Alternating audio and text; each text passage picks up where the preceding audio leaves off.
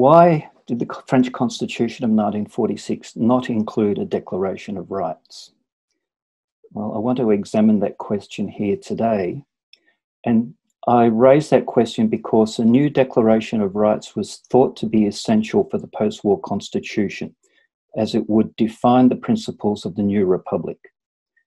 And the deputies of the Constituent Assembly, elected on the 21st of October 1945, intended this Declaration of Rights to complete the Declaration of the Rights of Man and the Citizen of 1789. The principles of 1789 would affirm the key doctrines of freedom, equality, and humanity after the debasement of humanity under Nazism. But they would also be completed and expanded upon with the inclusion of social and economic rights for the realities of the age. so, why then did the Constitution of October 1946 not include the Declaration of Rights? To be sure, that Constitution included a statement of fundamental rights in its preamble, the 16 rights it proclaimed, it's one less than the 1789 Declaration, asserted, among other things, the equality of women, the equality of races and religion, the rights to education and social welfare, the right to work, and the right to strike, and so on. So, the question I want to address here is why the Assembly did not commit itself to the detailed Declaration of Rights that was written along with the draft Constitution of April 1946. The preamble was in part an admission of the difficulties of defining social and economic rights. Civil and political rights had become established over the course of France's Republican experience, but social and economic rights were yet to be defined in a formal document. The 1946 document also, declaration also had models to follow. The declarations of and declarations of rights were the norm when new constitutions were distinct, uh, when new constitutions distinguished changes of regime. Although we have to note the important exception of the Constitution of 1875. Was this a matter of the final document falling short of the expectations with which it was commenced? I think not. These were new rights. There had been attempts to define social and economic rights prior to 1946, but they had not yet been given form in a constitutional framework. they were hard to pin down because the field of social and economic rights was found to be so vast. A new text of uh, a Declaration of Rights was proposed at the 1936 Dijon Congress of the Ligue des Droits de l'Homme. There followed through the war years a new discourse of rights that promised to restore human dignity and imagined a post war order of greater liberty and greater equality. There was a Declaration of Rights of the Free French in London of 1943, no doubt the work of Rene Cassin. Declarations prepared by the philosopher Jacques Maritain in 1942 and in 1944 by Georges Gurvitch and Emmanuel Mounier, all proposed social and economic rights. Of more direct influence of the deputies of 19, on the deputies of 1946 was the 1944 program of the National Resistance Council.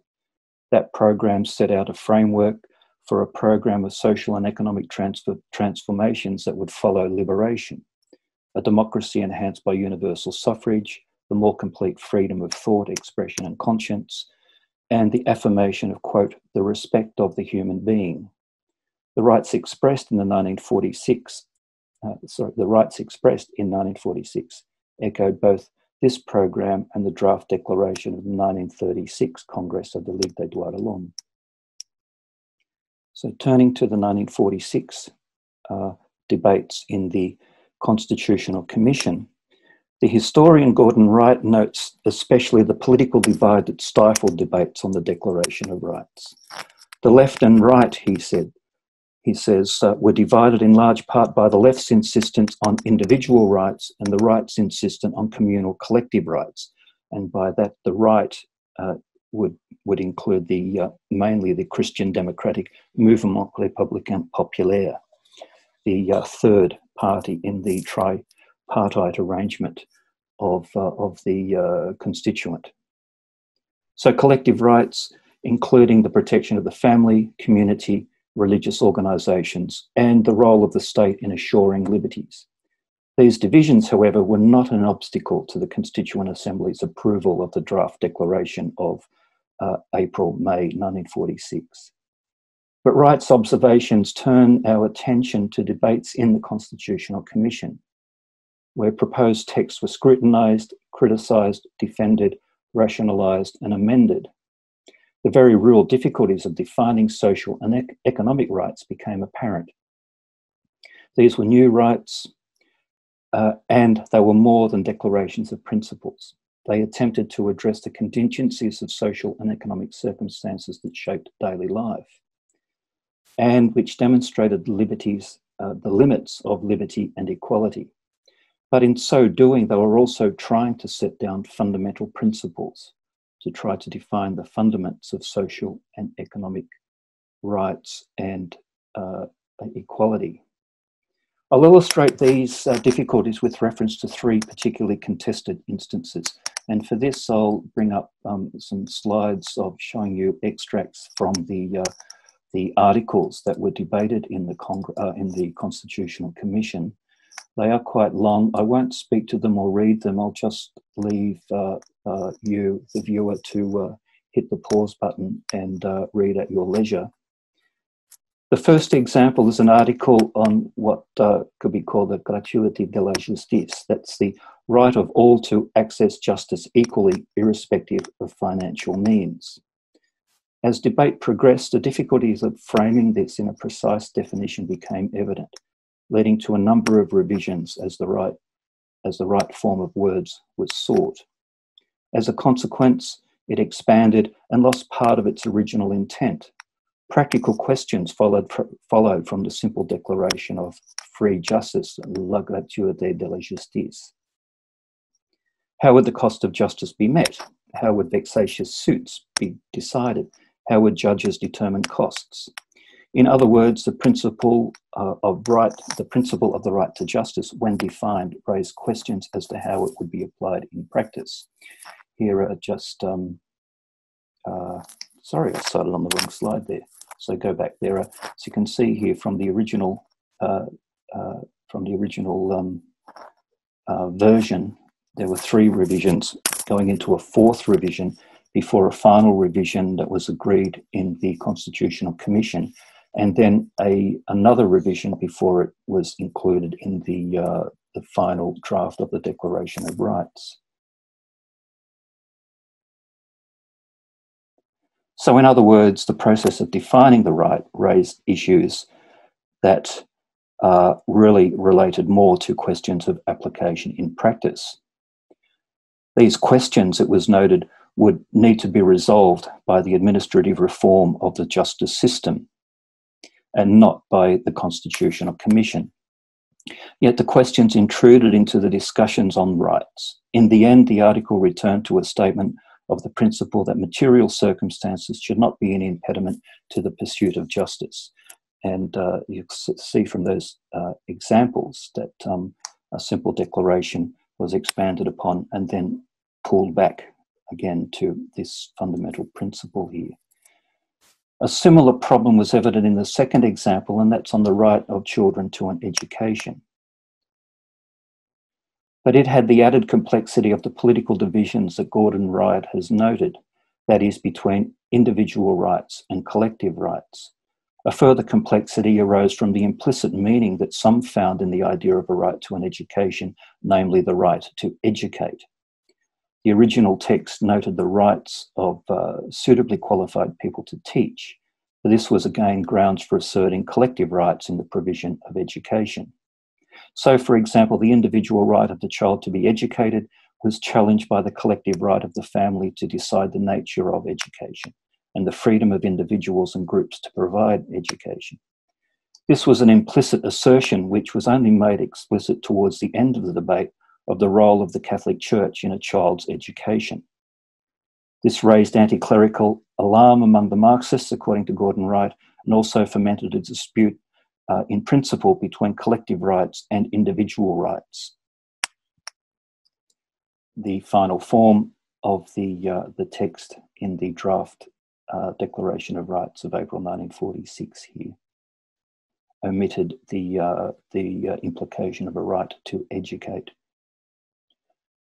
So the third example relates to uh, what was listed as Article 16 of the Draft Declaration of Rights on the access of those from the French Union to employment and professions within France. The third paragraph was especially problematic for a number of deputies. The use of the term citoyen et citoyenne uh, declared redundant following the recognition of the equal rights of uh, women was criticised for being ignorant of the status of those who lived in the French Union. They were French men and women without necessarily being French citizens.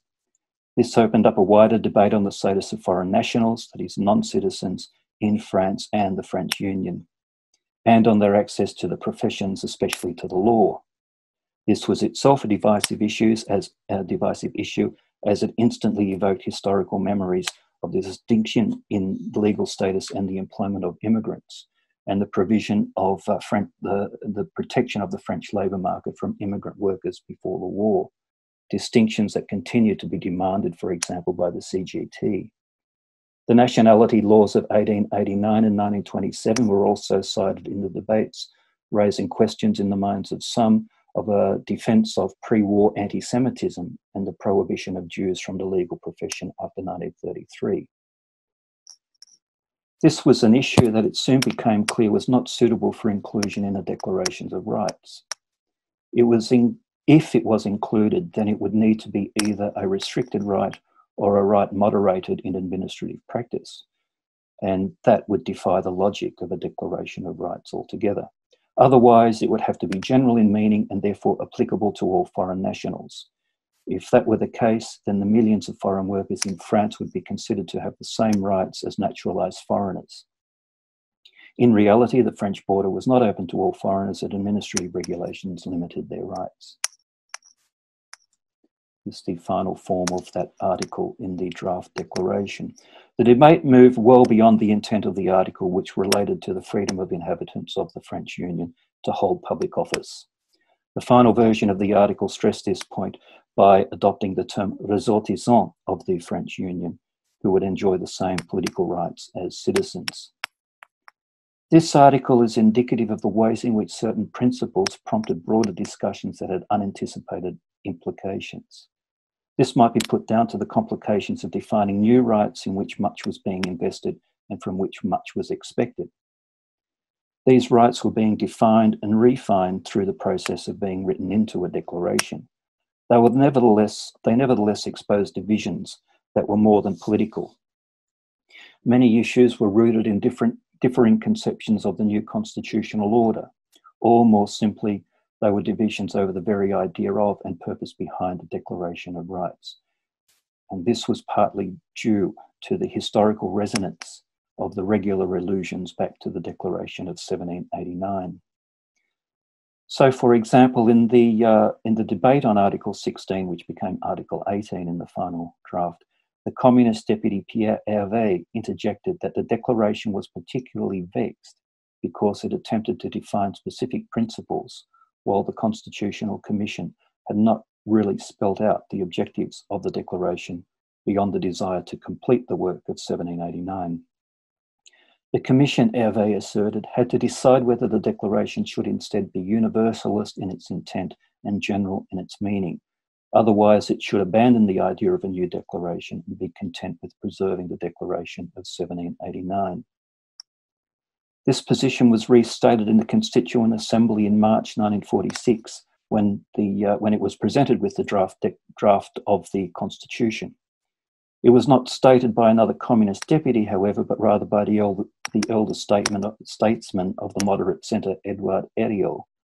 He rejected the compromise evident in the text of the Declaration of Rights of 1946, noting the significance of the 1789 Declaration was its universal conception of rights, which, he said, France had bequeathed to the world. That declaration, he said, represented a struggle against governments, not against government in the singular, which was the motivation behind the 1946 declaration. He argued that the new text had turned its back on the original universal principles because the social and economic rights it included were specific to France and specific to the present time for Herriot, the text of the 1936 Congress of the Ligue des Droits de l'Homme was preferable to the Declaration of 1946.